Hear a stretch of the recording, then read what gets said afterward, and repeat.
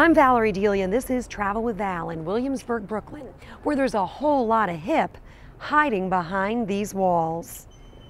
Williamsburg, Brooklyn is just a quick ferry ride across the East River or one subway stop on the L train. The pulsing artery of the neighborhood is Bedford Avenue, with blood that runs decidedly cool along a hip strip of galleries, boutiques, and restaurants.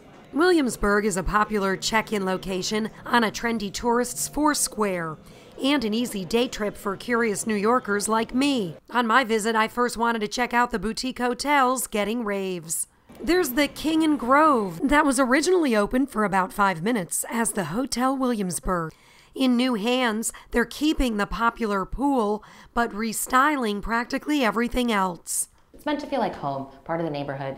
That's really what Williamsburg is. Next, the Wythe on the avenue of the same name is a turn of the century industrial conversion retaining high timber ceilings and other stunning original touches. Its 72 guest rooms have custom wallpaper from Flavor Paper, a local business. Across the street is I Hate Perfume, another homegrown favorite that literally stinks, with reality based fragrances designed to conjure up familiar aromas.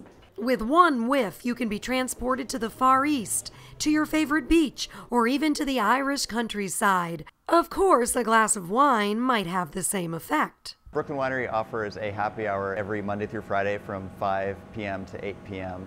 It's $2 off a glass of Brooklyn Winery wine or $10 off a carafe or bottle of, of wine.